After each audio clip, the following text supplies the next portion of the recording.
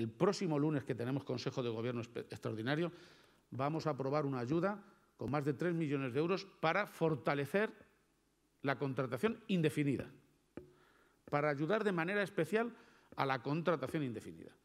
Creo que no se nos está quedando ni un solo milímetro del territorio sin cubrir y del ámbito social sin cubrir con un margen de ayudas o con otro. A altura de hoy, ya más de la mitad de todos los autónomos, que son muchos en la región, ya han cobrado o están cobrando la ayuda. Y la otra mitad lo van a cobrar en los próximos días.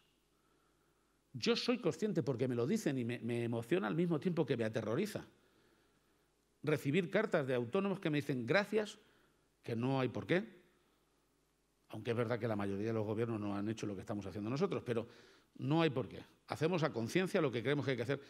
Yo soy consciente de que estamos salvando a miles de, autónomos que, que no tienen ni para pagar el alquiler del local, ni para tirar durante estos meses.